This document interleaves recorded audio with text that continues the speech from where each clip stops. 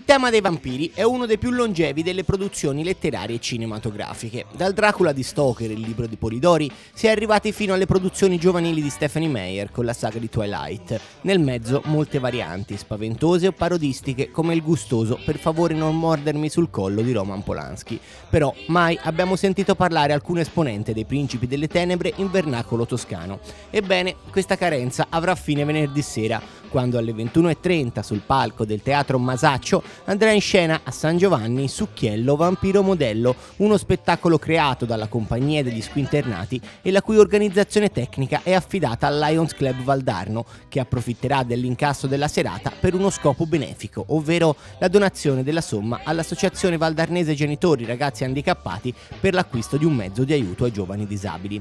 Ancora una volta dunque si fa sinergia per uno scopo benefico, con l'interesse che deriva da una commedia decisamente originale rispetto anche alle classiche ambientazioni contadine delle produzioni in vernacolo. Per conoscere dunque Succhiello, il vampiro modello, l'appuntamento è per venerdì sera al Masaccio.